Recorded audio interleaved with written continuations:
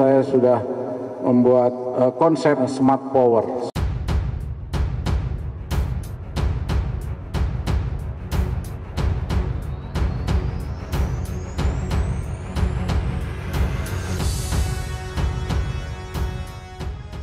Uh, kalau tentang konflik di Papua nanti uh, saya sudah membuat uh, konsep yaitu menggunakan uh, smart power. Smart power itu soft power kita mengedepankan um, operasi uh, teritorial.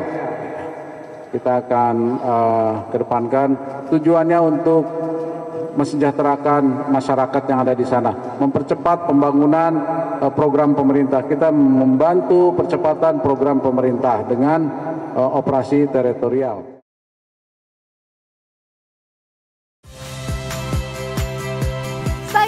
Friska Clarissa. Saksikan program-program Kompas TV melalui siaran digital, pay TV, dan media streaming lainnya. Kompas TV, independen, terpercaya.